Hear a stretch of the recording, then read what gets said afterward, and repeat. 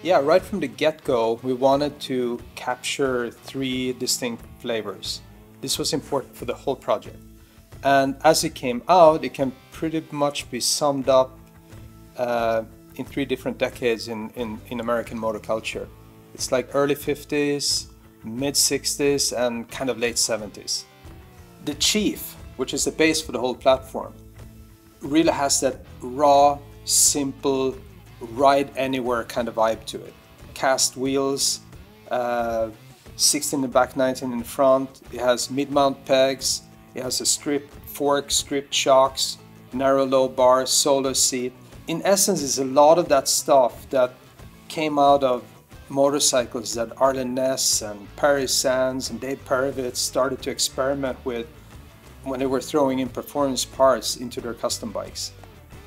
You know, it's, it's the Chief is also that perfect bike to customize. You know, it's a perfect blank canvas, but it's a really good looking canvas to start with.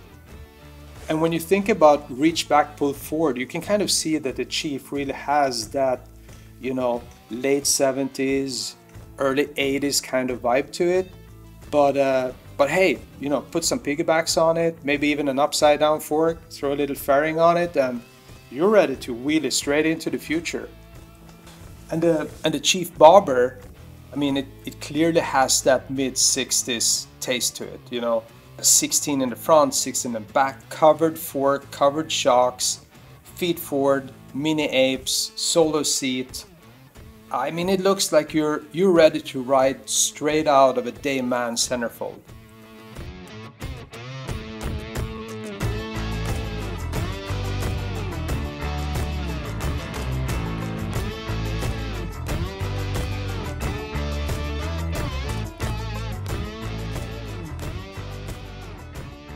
With the Super Chief, we wanted to reach all the way back to early 50s, even late 40s. With this bike, you shouldn't look out of place riding straight into Hollister in 1947. You have your bags, you have your windscreen because you rode far, you rode hard to get there. When, you, when you're there, you take your bags off, take your screen off, you hit the races. Uh, in, in the evening, you tear up the main street a bit, Sunday, put bags back on, screen back on, and you're ready to ride home, looking just as good as when you arrived.